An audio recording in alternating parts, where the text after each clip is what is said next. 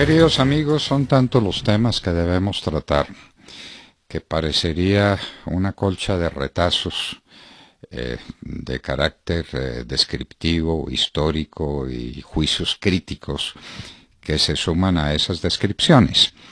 Pero todo está concatenado. Todo, en últimas, resulta dirigido por los mismos criterios y sometido a las mismas eh, eh, tristes consecuencias de un malestar general de la nación. Como ya nos lo decía Sergio Gel para esta tarde, hay una velatón. Eh, la velatón aparentemente es inofensiva. Está bien que la gente se reúna en los centros residenciales y si tiene motivos de protesta que diga cuáles son. Y ojalá, ojalá a alguien se le ocurra decir eso cómo se corrige, que es que estamos hablando contra el desempleo. Bueno, muy bien, entonces eh, protestamos contra el desempleo. ¿Y cómo se corrige el desempleo? El desempleo no se puede corregir sino con riqueza, con desarrollo económico, con las fábricas en pleno movimiento, con los comercios eh, llenos de gente para vender productos, con el sector de los servicios dinámico. Es la única manera, eso no hay otra fórmula. No hay otra fórmula que esa. Pero bueno, si quieren protestar, protesten. Pero esa protesta que no se convierta en lo que han sido las protestas que no son tales, sino actos atroces de vandalismo que afectan gravemente la producción. Nadie nos ha dicho cuál ha sido el costo de las famosas protestas que se hicieron especialmente en Bogotá, Medellín y Cali, especialmente en esas tres ciudades. Nadie nos ha dicho porque el cálculo es imposible de hacer. Hace unos minutos aquí en la hora de la verdad hablábamos con el doctor Juan Daniel Oviedo, director del DANE, excelente funcionario, que nos daba cuenta de la caída de la industria en el mes de julio. 8 eso es una calamidad. Para que ustedes tengan una idea, el crecimiento del PIB para que Colombia sea viable debe ser del 5%. Y el crecimiento, la caída del 8%, es sencillamente una catástrofe. Y el señor director de FENALCO nos está diciendo que ya agosto fue un pésimo mes. Si fue un mes muy malo para el comercio necesariamente será un mes muy malo para la industria. Entonces, ¿para dónde vamos? ¿Dónde estamos?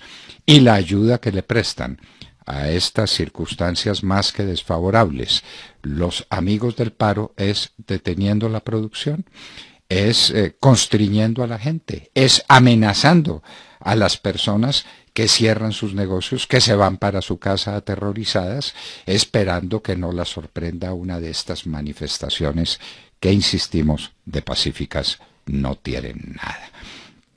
La situación pues es muy delicada y nos eh, separa de los temas esenciales del país.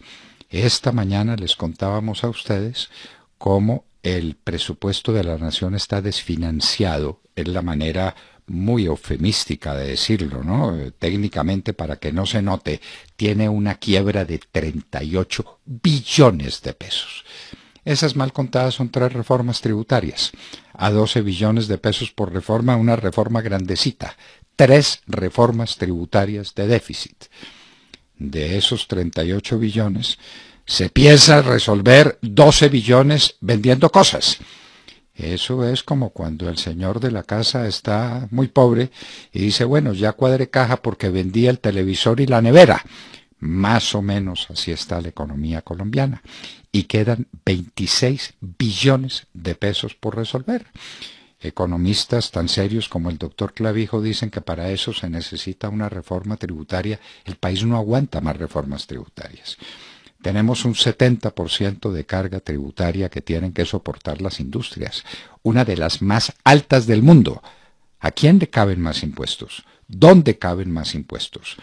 ¿Y dónde está el proceso de austeridad, de restricción en el gasto, lo que supone suprema eficiencia en el manejo del gasto público? ¿Dónde está? De eso definitivamente no se habla. Y ese sí que es un tema. Y ese sí que nos afecta a todos cómo se va a tapar, el hueco presupuestal. Señores, los temas del país son de una gravedad extraordinaria. Ahí siguen los eh, togados estos de la JEP, eh, nombrados por comunistas internacionales para vergüenza y desdoro de Colombia, hablando de las retenciones ilegales. Luis Mendieta, general retirado de la policía, nos cuenta lo que eran esas retenciones ilegales en los campos de concentración, los peores, los más inhumanos campos de concentración que desde Auschwitz no se veía una cosa parecida. Y estos eh, sinvergüenzas de las FARC están en el Congreso de la República por obra de Juan Manuel Santos y entonces ahora dicen que secuestraron, pero ¿cómo podrían contrariar tanta evidencia descomunal en contra de ellos? No, lo que preguntamos es por las reparaciones. ¿Qué va a pasar con Mendieta y con las familias de miles de secuestrados a quienes las FARC afectaron de este modo?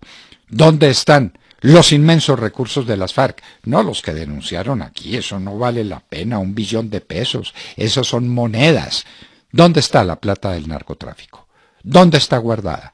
¿Cuál es el esfuerzo del gobierno nacional por recuperar semejante cantidad de dinero que podría ser una fuente de reparación eh, indispensable desde el punto de vista jurídico y apenas legítima desde el punto de vista de los principios fundamentales de la responsabilidad civil y penal a cargo de las, de las FARC, a, cambio de, a cargo de estos sinvergüenzas que están yendo a la JEP a decir, no, sí secuestramos.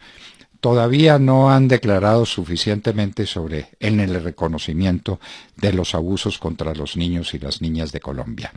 Entonces ustedes ven, este es un cúmulo de circunstancias que se unen pero que tienen un solo propósito y un solo final, la desestabilización del país.